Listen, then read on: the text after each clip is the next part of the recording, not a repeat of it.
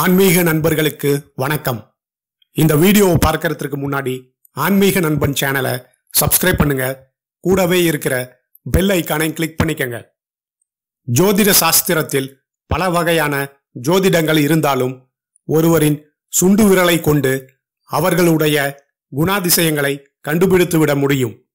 இப்படி சுண்டு விரலை கொண்டு கணிக்கும் பலன்கள் பொதுவானது. துல்லியமான பலன்களை அறிய அவர்களது பிறந்த நேரமும் ஜாதகமும் அவசியம். இந்த சுண்டு விரல் ஜோசியம் தென்கொரியாவில் பரவலாக காணப்பட்டாலும் நம் நாட்டிற்கும் இது பொருந்தும். ஆண்கள் வலது கையிலும் பெண்கள் இடது கையிலும் சுண்டு விரலின் அளவை பார்க்க வேண்டும்.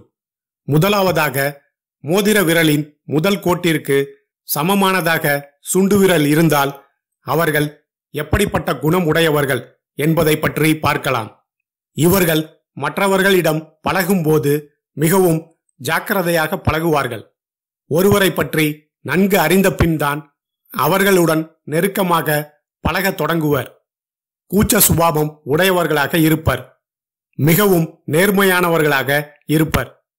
நேர்மை இல்லாதவர்களைக் கண்டு கோபம் அடைவார்கள். மிகவும் பொறுமைசாலியாக இருப்பார்கள்.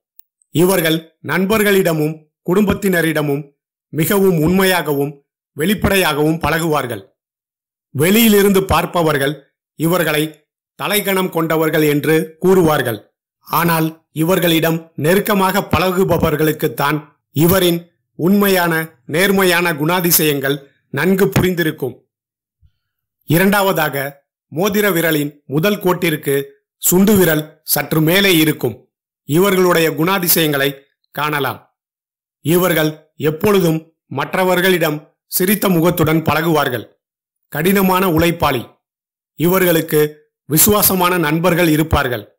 இவர்கள் எளிதில் உணர்ச்சி வசப்படக்கூடியவர்கள் இவர்கள் அதிகமான கவனத்துடனும் முழுமையான மனதுடனும் தான் எந்த ஒரு காரியத்திலும் ஈடுபடுவார்கள். இந்த குணத்தினால் இவர்கள் மேற்கொள்ளும் எந்த காரியத்திலும் அவர்களது குறிக்கோளை எளிதில் அடைந்து வெற்றி பெறுவார்கள்.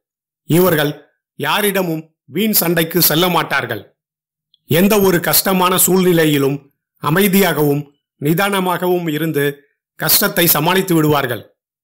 மூன்றாவதாக மோதிர விரலின் முதல் கோட்டிற்கு சுண்டு விரல் கீழே இருந்தால் அவர்களுக்கு என்ன பலன் என்பதை காண்போம். இவர்கள் மிகுந்த தன்னம்பிக்கை கொண்டவர்களாக இருப்பர்.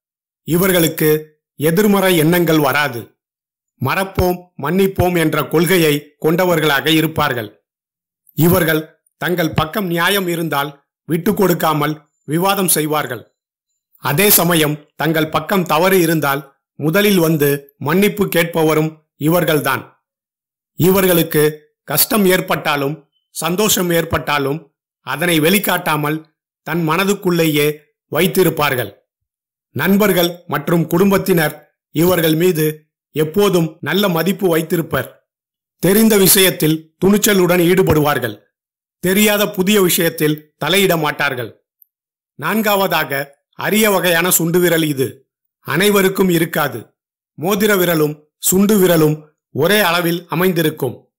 இவர்கள் தனித்தன்மை கொண்டவர்களாக இருப்பார்கள்.